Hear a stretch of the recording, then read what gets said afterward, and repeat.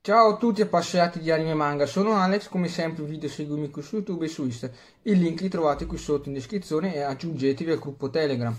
Vi invito a iscrivermi davvero perché a 500 farò un nuovo video sulla mia collezione e lasciate un bel mi piace che non vi costa nulla.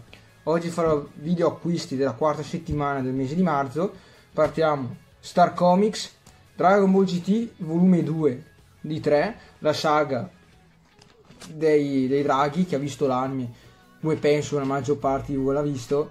Praticamente la saga finale di Dragon Ball GT con i draghi con, le- con le sfere del drago che si trasformano in draghi e bisogna purificarli poi Rohiro numero 5 il penultimo. I disegni sono mostruosi. Lo è un po' do- mille doppi sensi alcune immagini un po', un po' spinte. Poi Iona, la principessa scarlatta numero 23, uno shoujo molto particolare perché è pieno di battaglie e scontri, quindi anche se mi piace il shoujo però ci sono tante battaglie oltre al sentimentale, lo prendo sempre volentieri. Poi quello che mi fa più ridere della J-pop, la via del Greenville numero 5, ha annunciato l'anime su Netflix, tra poco uscirà, però mi fa, mi fa straridere, i disegni sono anche belli, faccio vedere giusto un'immagine per capire, però tante situazioni assurde che mi fanno ridere un casino, anche l'immagine di copertina è piuttosto ambigua, però è uno di quelli che mi fa più ridere, mi fa più staccare, rilassare, non pensare alle cose brutte.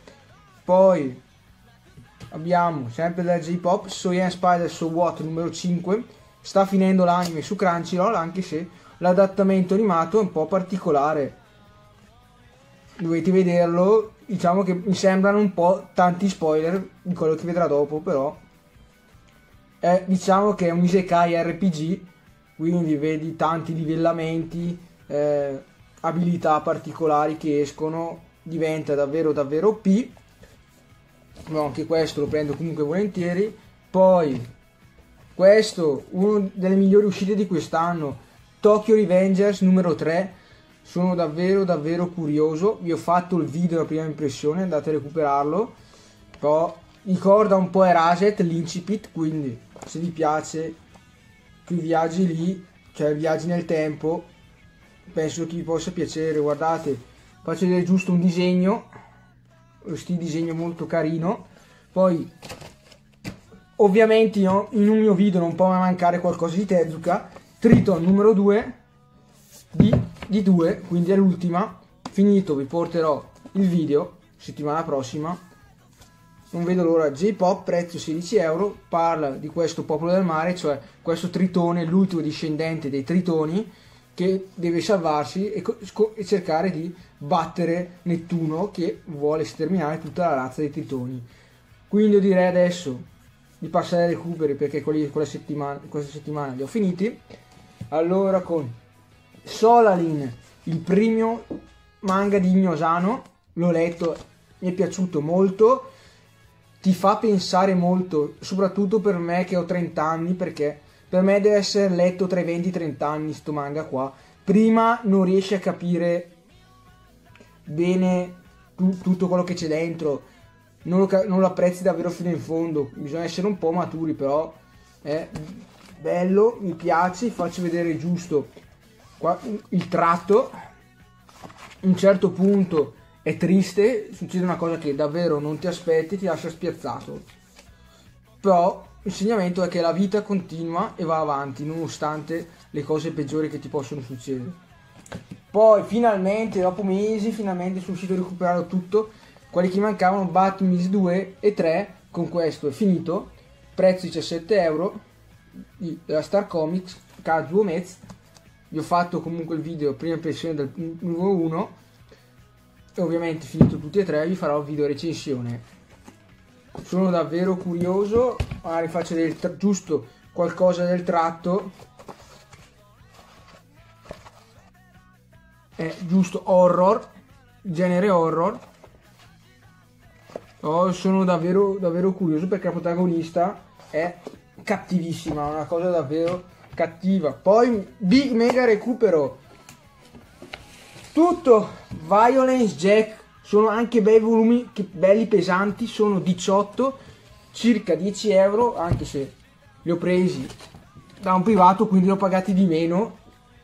Poi fidatevi che pesano, ma pesano davvero. Non vedo l'ora di leggere, è di Gonagai, quindi è una garanzia. Quando l'ho finito ve lo porterò, ovviamente il video. E l'ultimo che mi è arrivato giusto oggi, dal, direttamente dal Giappone, il numero uno di Darly in the Franks.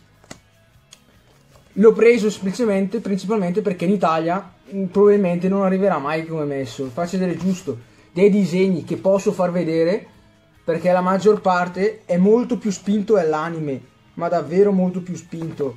Cioè, mi vanno, mi chiudono il profilo vi faccio vedere certe immagini, però Zero C è davvero qualcosa di... Faccio vedere le prime pagine che sono a colori, che sono qualcosa di stupendo.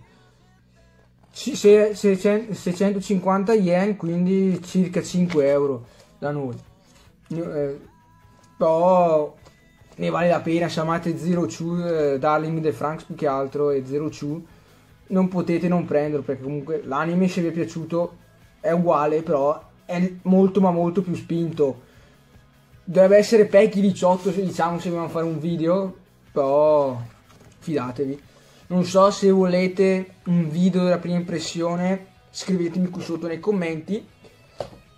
Vi ricordo aggiungevi al gruppo Telegram, attivate la campanellina e ovviamente iscrivetevi e se lo condividete mi fate un piacere perché così mi supportate, cresce il canale, porto molti più video, anche più manga provenienti dal Giappone, quindi aiutatemi molto. Noi ci vediamo al prossimo video, ciao!